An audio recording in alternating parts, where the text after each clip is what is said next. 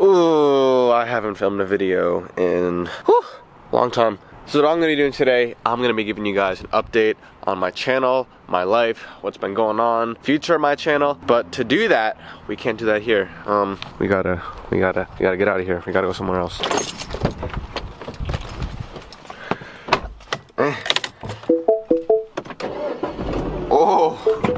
So I've been putting this off for a really long time, but I felt like it was finally time I give you guys a proper update on what's going on, why I haven't been filming so much, and what I do plan to do filming wise because YouTube, like, it's a fun thing. Back, like, say, two, what was it? Like two years ago when I used to film videos consistently, like, I enjoyed it. It was a lot of fun. And, like, it was just a great experience, you know, building my fan base, connecting with people, even getting sponsorships. I landed my first major sponsor when I was 15 and I don't know like it, it, was just a great experience and I really liked it. And so for those of you who don't know the main reason that I stopped filming consistently was because I took up diving. And the reason I chose to start diving competitively was I'm concerned about my future. I mean I don't know if concerned is the proper word but like I already had the flipping background from trampoline that made me think you know what? Like I could do diving. Like I can make this happen. So that's what I chose to do.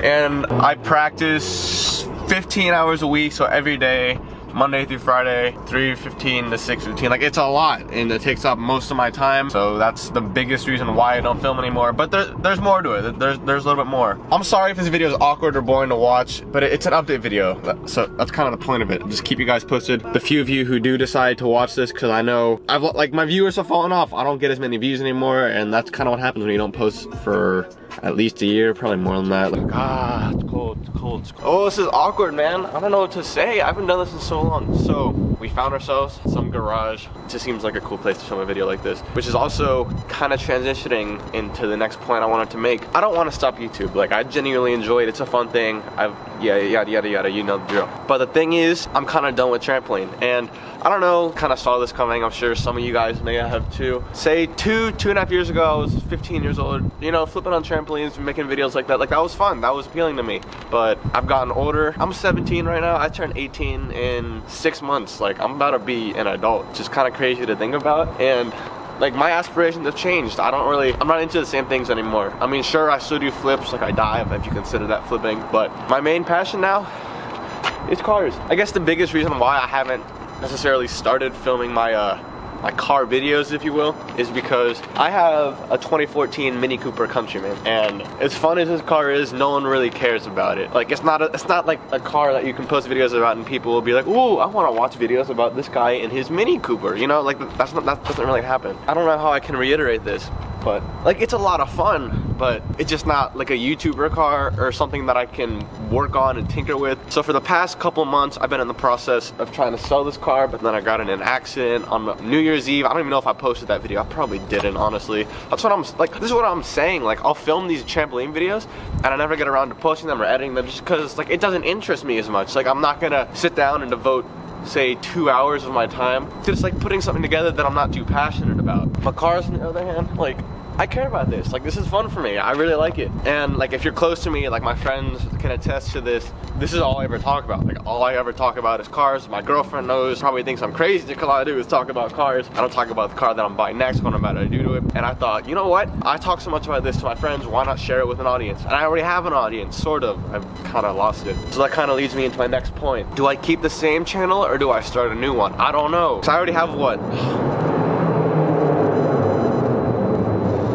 Like, like, that's cool, that's cool. I wanna do that. So I think I have like, what, 159,000 subscribers right now. Mm, move the camera a little bit. Oh, God, it's cold. I didn't think it was gonna be this cold. And now there's a fool coming up. Oh, it's his car. He's in the garage, that's cool. So what do you think? Keep this channel or start a new one? Do you guys like the idea of me starting a car channel or changing the theme of my channel. I think it's definitely something that'll keep me, not only keep me occupied, but it's something I'm genuinely passionate about. So the car I'm buying next I don't want to spoil it. I will tell you, it's a very fun, pretty well-known tuner car. Like a lot of people, a good amount of people have these cars in the YouTube community and the car community. It, and it's just like, it's a lot of fun. People are known to work on them, do a lot of stuff to them. This car, on the other hand, mm, nah, not, not so much. No, not really. So you might be asking, why didn't you just get that car in the first place when you when you bought your first car? Biggest reason was I didn't really know how to drive when I first bought the car. I bought this car before I even had my license. Like I bought it when I had my permit, which was stupid. Like looking back at that now, I dropped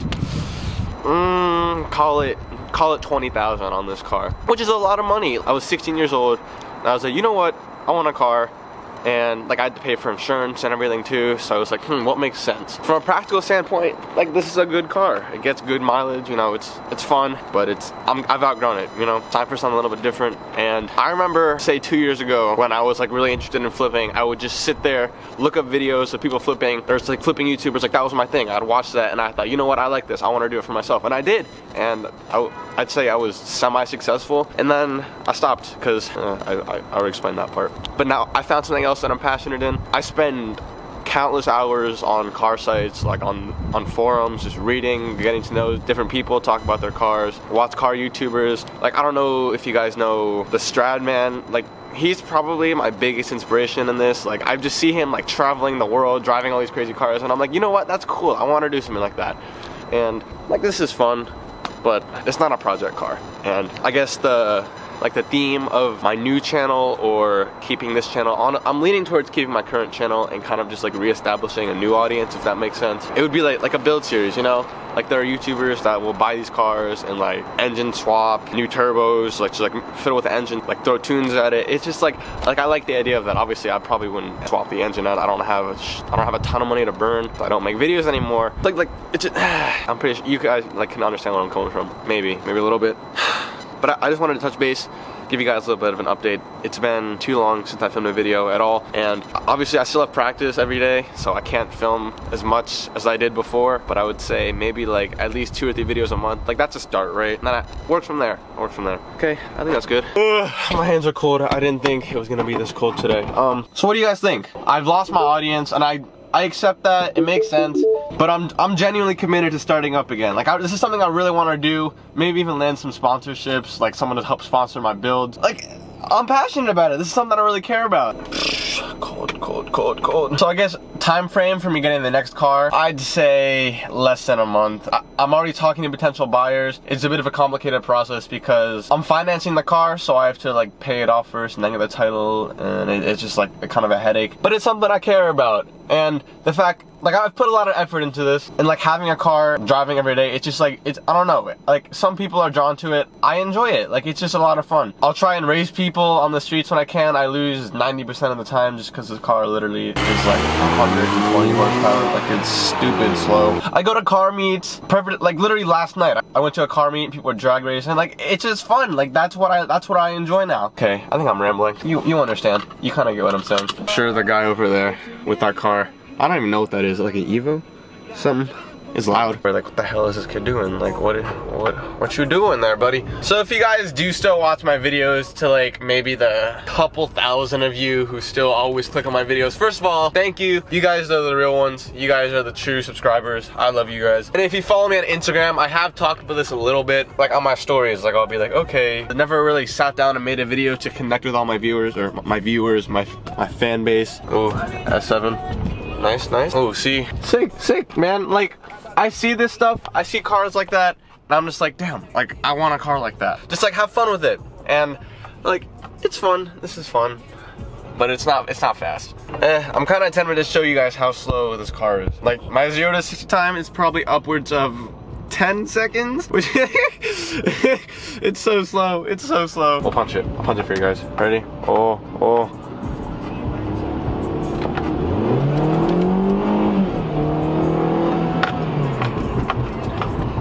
Wow, dude, what a pull, sick ass speed. One more.